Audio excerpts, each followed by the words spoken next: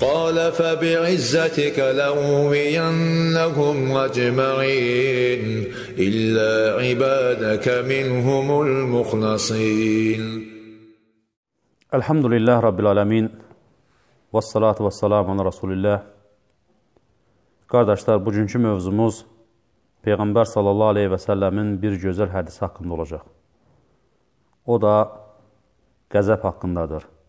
Bildiyiniz kimi İslam dini bizə ən gözəl şeyləri, ən gözəl əxlaqa çağırır.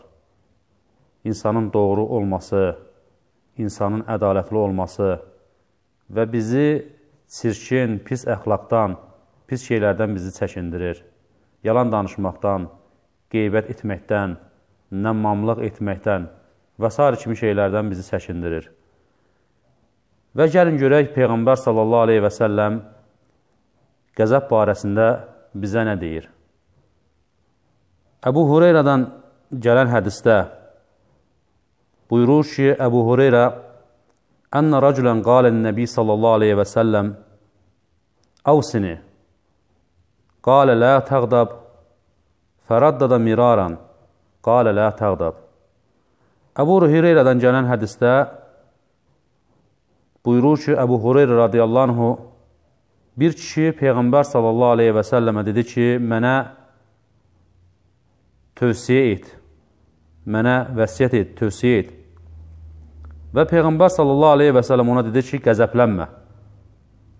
Və bu kişi təkrar-təkrar soruşdu ki, mənə tövsiyə et, ya Rasulallah. Peyğəmbər sallallahu aleyhi və sələm hər dəfə bu təkrar etdiksə dedi ki, qəzəblənmə.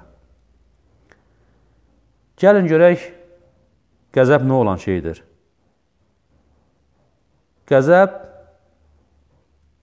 şeytanın insanın qəlbinə saldığı kömürdür. Necə ki, Peyğəmbər sallallahu aleyhi və sələm buyurur ki, qəzəb şeytanın insanın qəlbinə atdığı kömürdür. Və ümumiyyətcə, hər bir insan qəzəblənir. Ancaq insanlar qəzəblənməkdə fərqli-fərqlidirlər.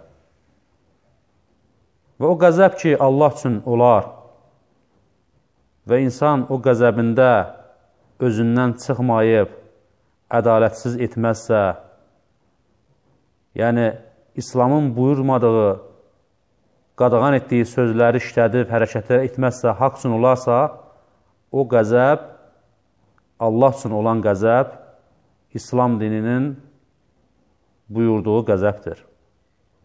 Ancaq o qəzəb ki, insanı fəsada, ədalətsizliyə, zərərə aparırsa, o qəzəbi İslam dini qadağan edir. O qəzəb zaman insan özünü saxlamalıdır. Və bu kişi Peyğəmbər sallallahu aleyhi və səlləmdən təkrar-təkrar soruşur. Peyğəmbər sallallahu aleyhi və səlləm ancaq buna deyir ki, qəzəblənmə. Və bu hədisin şərhində alimlər gətirir ki, Peyğəmbər sallallahu aleyhi və səlləm yəni buna Allahdan qorx, qorx deyə tövsiyə etmədi və yaxud başqa tövsiyələr etmədi. Buna ancaq tövsiyə etdiyi şey dedi ki, qəzəblənmə.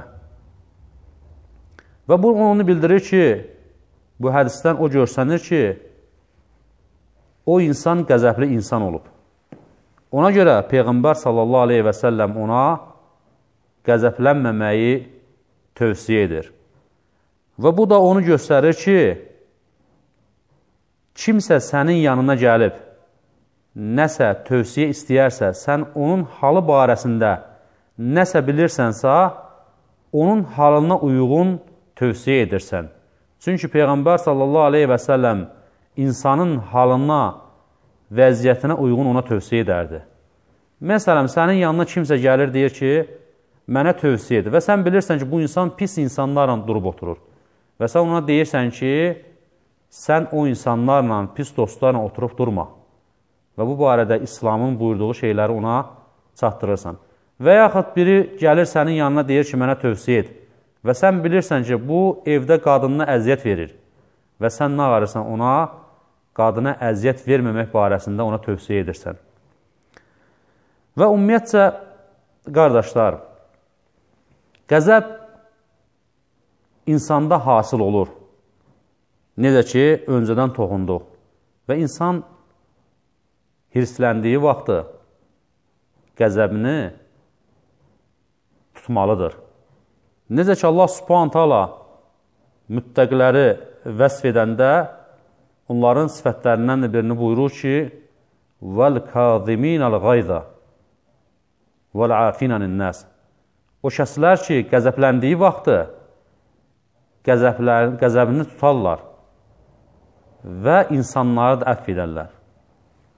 Və həmçinin Peyğəmbər sallallahu aleyhi və səlləm sahabələrə deyir ki, siz aranızda pəhlivan kimi sayırsınız? Və buyururlar ki, biz o insanı pəhlivan sayırıq ki, o insan məğlub olmur, məğlub olmayan kimsədir. Və Peyğəmbər sallallahu aleyhi və səlləm buyurur ki, xeyr, pəhlivan o insandır ki, qəzəbləndiyi vaxtı qəzəbini tuta bilsin. Və qəzəb barəsində, yəni qısa da olsa, yəni bir şeylər xatırlatdıq və gəlin görək bu qəzəbin müalicəsi nədir? İnsan qəzəblənəndə hansı məsələlərə fikir verməlidir?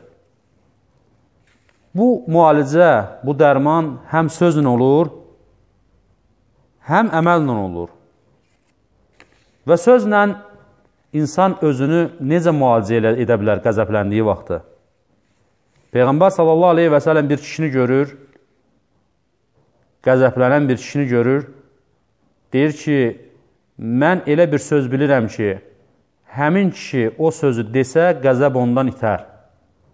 O da əuz billahi minəşşeytanirracim. Daşlanmış şeytandan Allaha sığınıram.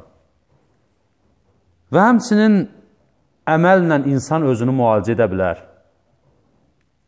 Yəni, özünü Allahın izinlə qəzəbləndiyi vaxtı özünü müalicə edə bilər.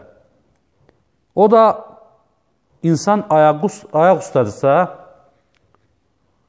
otursun. Oturursa, uzansın. Çünki zahiri görünüş insanın daxili görünüşünə təsir edir. Və həmsinin bunlar da kifayət etmirsə, dəstəmaz alsın. Çünki dəstəmaz insanın qəzəbini unutdurur və qəzəbin hərarətini söndürür. Və həmsinin alimlər gətirirlər ki, bunu da edib, əgər təsiri dəyməsə, insan durduğu yerdən uzaqlaşması yaxşı olar. Yəni, oranı yəni o qəzəbləndiyi yeri tərk etsin. Subhanəkəllahumə və bihamdikə əşhədu ən la ilən əstəğfur və tubuleyh.